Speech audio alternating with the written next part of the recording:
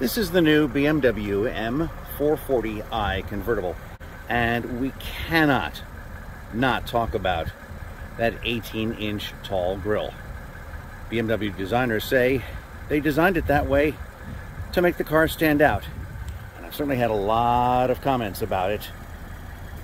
This is M enhanced, so it's got the beautiful red M calipers, really decent Michelin rubber, and inside a stunning 2 plus 2 with all of the technology you want, multiple drive modes from Sport Plus to Eco and Comfort, and a very grippy steering wheel. It's rear wheel drive, and it really has some decent power, and I might dare say you could put a person or two back there. It reminds me very much of the 6 Series coupes and convertibles of the 2000s. Very sleek.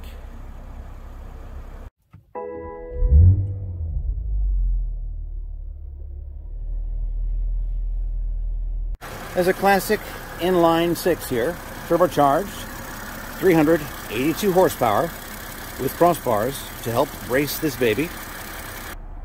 Heated cooled seats, and there is a heater in the head restraints to keep your neck warm when you're driving topless.